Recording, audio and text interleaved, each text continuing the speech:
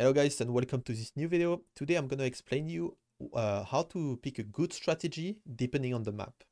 Um, so good strategy will most of the time be either more aggressive or more defensive. And then should I go Man-at-Arms? Should I go Scout? Should I go Archers? Should I Wall? Should I go Skirmish? So many things you can ask yourself.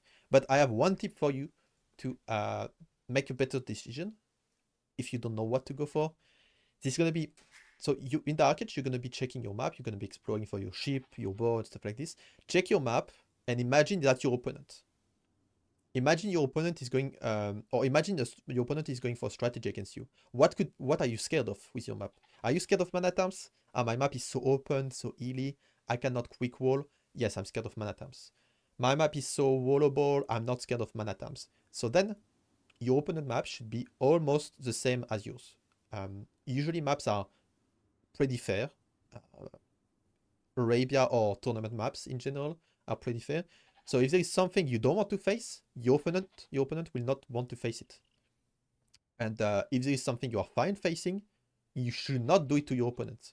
Just be in the mind of your opponent because the maps are really fair and similar and uh, you're gonna do better.